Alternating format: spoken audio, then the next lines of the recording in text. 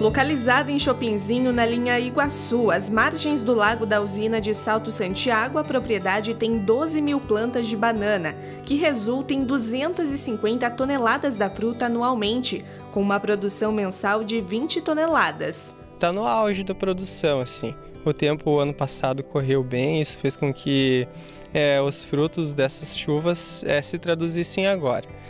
Agora está uma época um pouquinho mais seca, eu acredito que daqui uns 30, 40 dias possivelmente vai diminuir um pouco a nossa produção aqui.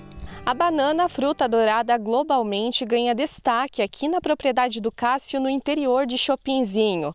A produção é abundante aqui na propriedade e que contribui para o prazer e também o consumo local.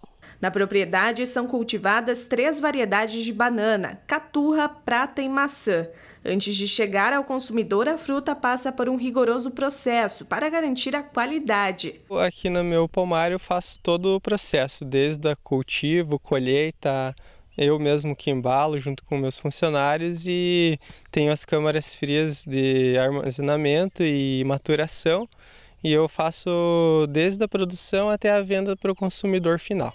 Após todo o processo, a fruta chega às mesas dos consumidores. Hoje eu faço vendas em alguns mercados da região, no município de Chopinzinho, Laranjeiras do Sul, Mangueirinha, e também eu trabalho bastante com a merenda escolar. Eu, eu atendo alguns municípios como Pato Branco, é, próprio Chopinzinho, Itapejara do Oeste, São João, Saudades do Iguaçu e Laranjeiras do Sul. Atualmente, o bananal é a principal e única fonte de renda do Cássio. Para melhorar a produção, um sistema de irrigação está sendo implantado no pomar, com a expectativa de aumentar a produção na área irrigada em até 40%.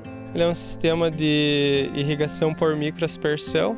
Aí eu, cada quatro pés vai um microaspersor e aí eu vou colocar uma bomba para captar água no rio e daí ela distribui pelos canos e molha o pomar.